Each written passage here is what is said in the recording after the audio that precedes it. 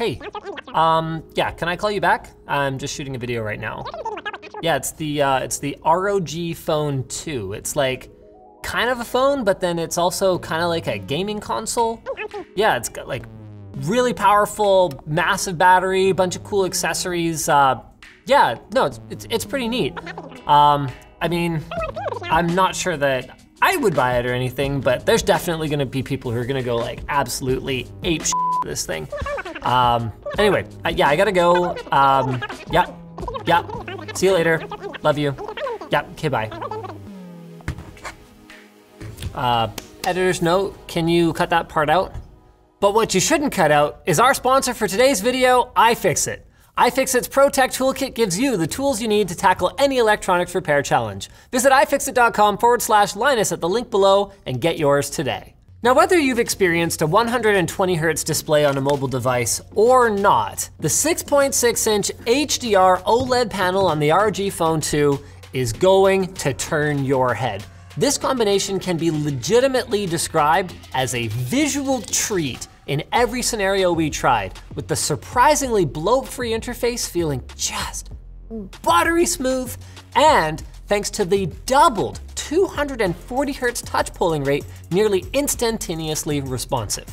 But then you hit an LTE dead zone or something, not that I'm blaming the phone, and like, I don't think I have felt like my mobile connection has been such a bottleneck on my phone since 3G. I guess Asus thought that might be jarring too, because the out of the box refresh rate is just 60 hertz. That's good for battery life too, I guess, but honestly, it doesn't really need the help. Despite the ROG Phone 2's impressive specs, including the binned Snapdragon 855 Plus and up to 12 gigs of RAM, thanks to its 6,000 milliamp hour battery, this thing got me through two workdays comfortably on a single charge. It lasted for 13 straight hours in Geekbench 4's battery life test, and even if it did run low at a critical juncture, it's Quick Charge 4.0 compatible and even features two charging ports if you wanna charge while you get your game on. And you can really get into your game on this thing because man, these speakers, they're truly something special. And I'm not just talking like, yeah man, they get like real ducking loud, brah. Because yeah, they do get real ducking loud, but somehow ASUS managed to provide a shockingly wide and detailed soundstage with just two onboard speakers.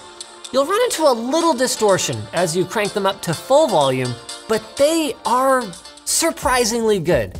And combined with the beautiful 10-bit display, this thing is fantastic for watching movies. Which isn't to say that the experience is perfect. Nothing is. The camera, like on every gaming phone we've tried, is just not that great.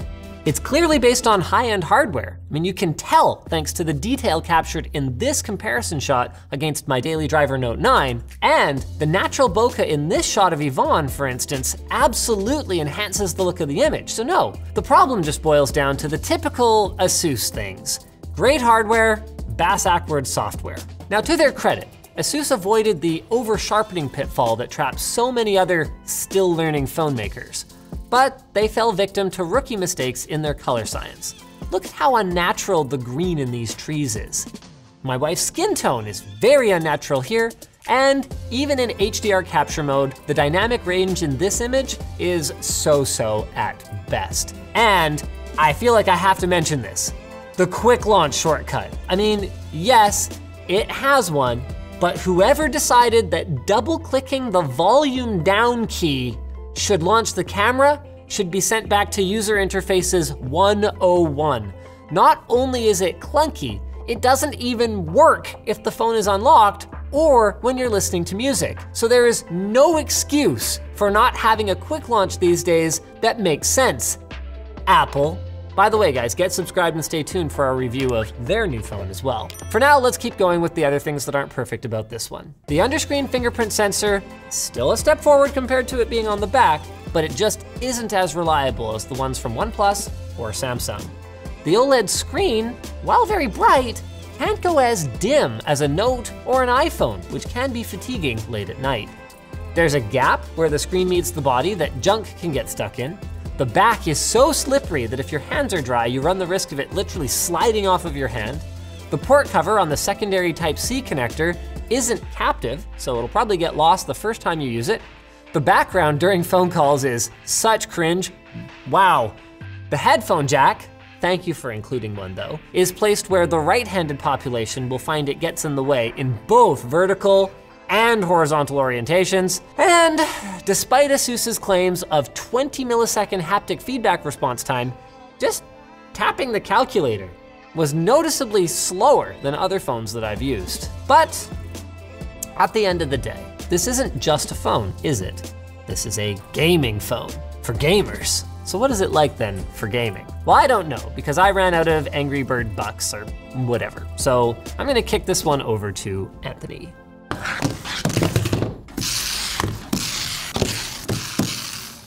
Actually, it's pretty great. I'm not much of a mobile gamer myself, but it was a pretty enjoyable experience.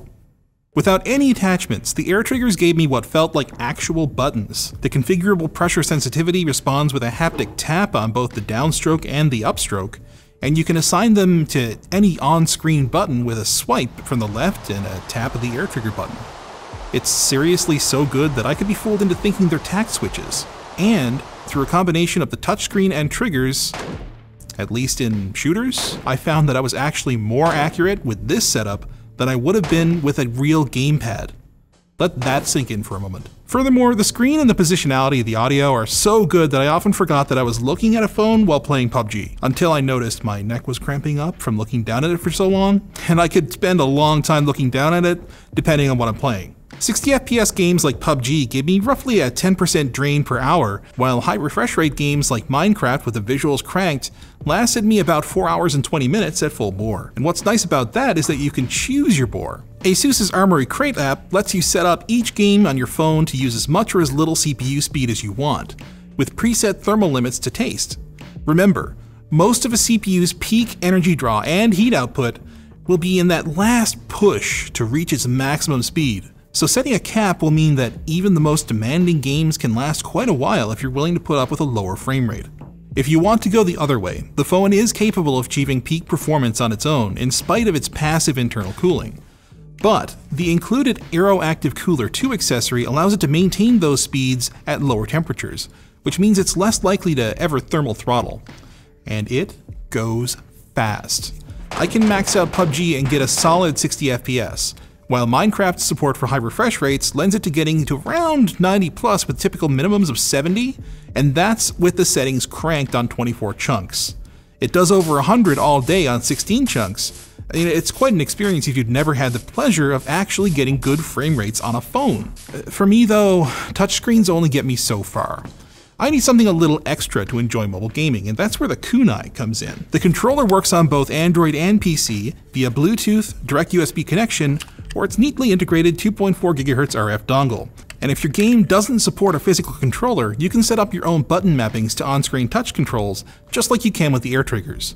And when I first saw this thing that it comes with, I thought it was just a separate bumper case, but no. Under these rubber covers are two rails, and the controller just happens to have this Joy-Con thing going on. Slide them up off the rails, slide them on to these, haha. and now you've got a kinda awkward, but still perfectly usable Nintendo Switch style setup. It gets even more ridiculous if you then slot it into the TwinView Dock 2 accessory. Like, can you imagine taking a phone call with this thing? I'll let Linus finish up with his thoughts on the rest of the ecosystem. Hello?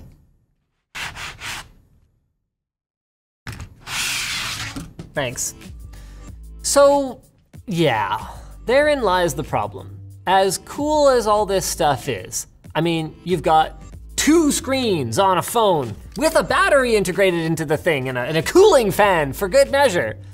But like, who is this bulky attachment for, really? People don't just buy phones specifically to play games, do they? I mean, I don't. In a given day, I might play a game or two, but I talk to people on the phone, text, take pictures, edit videos for Linus Cat Tips, pull up references and do research when I'm not at my desk, and of course, I read on the toilet. Oh, don't look at me like that. You do it too. Yeah, so, Sorry, my watch went off. Hey Siri, mute my notifications. To see your notifications, swipe down from the top of your Apple Watch face. How's this basic shit? So they're five generations into this thing. Oh God. Hey Siri, mute my watch. Media volume set to 0%. Thanks. Oh, don't lie. You do it too. And the thing is, shut the f up! I can do all of that stuff and game on any flagship phone, and I can do it without all these fancy attachments. So with that in mind, there are some usability compromises that ASUS had to make in spite of their no compromises claim. Honestly, the vibe I kinda get is that ASUS set out to build a game console first and a phone second, which might not be a terrible idea. Like guys, hit me up if you're into the idea of a secondary Android device that you use for just gaming. I mean, in principle, it's not that much crazier than having a phone and a Nintendo Switch in your bag, is it? Yeah, it is. Cause I heard a lot of the young kids today play Android games. So if you're one of those, I guess the ROG Phone 2 looks pretty spec fabulous, whether you're talking using it as your daily driver phone slash game console, or even as a secondary device just for gaming. This is hands down the best mobile Android gaming experience that we have seen yet.